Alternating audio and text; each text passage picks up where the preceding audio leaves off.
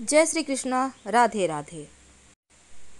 हल्दी, सौभाग्य की वस्तु तो है, लेकिन इसका तांत्रिक प्रयोग भी होता है। और हल्दी का पौधा अगर मिल जाए तो अब आप सोचेंगे हल्दी का पौधा कहाँ मिलेगा? देखिए, हल्दी का पौधा बहुत शुभ माना जाता है। कहा जाता है, जिस घर में ये पौधा होता है, उस घर में बड़े से बड़े तांत्रिक की तांत्रिक क्रियाएँ फैल हो जाती है। यानी वो कर ही नहीं सकता। उसका पुष्प का तांत्रोक्त प्रयोग। तो ये प्रयोग बहुत ही दुर्लभ और ख़ास है। इस प्रयोग को करने से आपके जीवन की बहुत सारी मुश्किलें समाप्त हो जाएगी। देखिए, हल्दी का सीधा संबंध देवगुरु बृहस्पति से है, लेकिन हल्दी भी तीन तरह का होता है। काली हल्दी, पीली हल्दी और ऑरेंज, यानी नारंगी हल्दी। तो पीली हल्दी का संबंध देवगुरु से है, काली हल्दी शनिदेव से संबंध रखता है और ऑरेंज यानी कि जो नारंगी रंग की हल्दी है, उसका संबंध मंगल से होता है। तो हल्दी भले ही हम खाने में या फिर हल्दी का प्रयोग हम अलग तरीके से करते हैं, लेकिन हल्दी का जो पुष्प है, वो आपके जीवन की हर परेशानियों से आपको मुक्ति दिला सकता है, आपके टेंशन को दूर करेगा और मन चाही मनोकामनाओं को भी पूर्ण करेगा। अगर आपके जीवन में आपको लगता है बहुत सारी मुश्किलें हैं, बहुत टेंशन है, राहत ही नहीं मिलती। एक आती है टेंशन, उसको समाप्त करते करते उससे पीछा छुड़ाते छुड़ाते दूसरी हाजिर कई बार ऐसा हो जाता है। कि एक परेशानी से आप बाहर पूरी तरह से निकले नहीं कि दूसरी परेशानी सर पे सवार। और ऐसा सिर्फ़ ग्रहों के चाल के कारण होता है।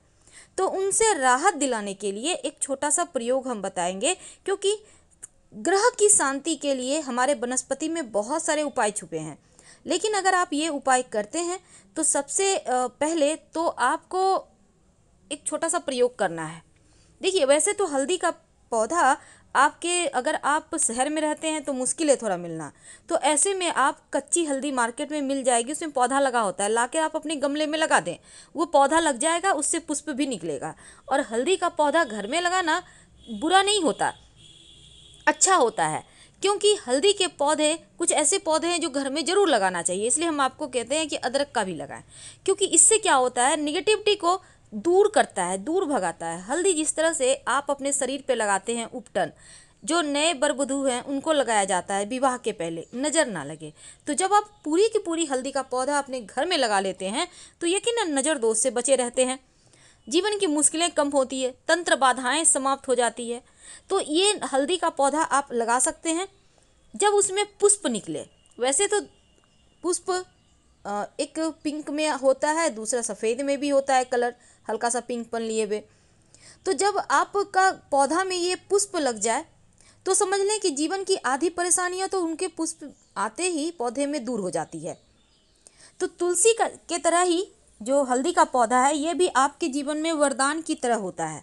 क्योंकि तुलसी माँ लक्ष्मी से संबंध रखता है तो हल्दी का पौधा गुरु से, और ये दोनों पौधा जिसके घर में होता है, उस घर की खुशियों को किसी की नज़र ही नहीं लग सकती। तो ये चमत्कारी पौधा आपके स्वास्थ्य के लिए भी उतना ही सेहतमंद है और धार्मिक रूप से भी महत्वपूर्ण है। हल्दी का पौधा लगाने से पहला तो आपका बृहस्पति मज़बूत होता है। विवाह में आ रही बाधाएँ खुद ब खुद दूर होती है और आपके घर में अगर लंबे समय से कोई शुभ मंगल कार्य नहीं हो पा रहे यानी आप जैसे लाइफ है वैसे एक ही ढर्रे पर चल रहा है, कुछ अलग नहीं हो पा रहा जीवन में, तब ये हल्दी का पौधा लगा देने से, उसमें पुष्प निकल जाने से आपके जीवन की समस्त समस्याएँ समाप्त हो जाती है, नकारात्मक ऊर्जा प्रवाह घर में प्रवेश नहीं करती। तो हल्दी का पौधा ज़रूर लगाएँ। लेकिन एक बात आपको पता है, हल्दी की माला से अगर आप देवगुरु बृहस्पति का मंत्र जप करते हैं तो जीवन में एक चमत्कारिक लाभ होता है। अगर आप गणेश जी की कृपा चाहते हैं तो हल्दी से बना हुआ आप गणेश जी रख सकते हैं। लेकिन जो हल्दी का पुष्प है, उसका हम आपको खास प्रयोग बताते हैं। हल्दी का पुष्प के तरह ही अनार के पुष्प का भी प्रयोग होता है, तांत्रिक प्रयोग।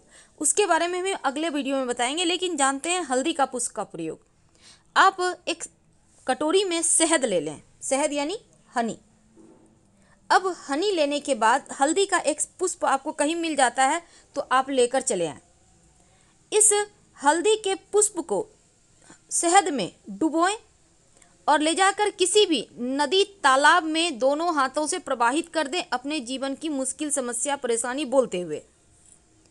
और बोलकर, देखिए, वैसे तो बोलकर आप पीछे मुड़कर मत देखिएगा और घर चले आए। एक तो आपके जीवन की मुश्किलें समाप्त होगी, तंत्र क्रिया किसी ने की हो, वो समाप्त हो जाएगी। लेकिन जब आप हल्दी को, हल्दी के पुष्प को शहद में डुबोकर आप शिव जी के मंदिर में जाकर शिवलिंग के ऊपर नहीं, जो जलहरी है, वहाँ पर अर्पित कर दें तो मन चाही मनोकामना हाथों हाथ पूरी हो जाती है। तो कच्ची हल्दी आपको मार्केट में मिल जाएगा। आप लाकर उसको प्रयोग कर सकते हैं, नियमित रूप से इसका तिलक कर सकते हैं, ये वसीकरण का काम करता है। फ़िलहाल विदा लेते हैं। जानकारी अच्छी लगे तो लाइक कर सब्सक्राइब करें। हर हर महादेव। और अपनों से शेयर ज़रूर करें।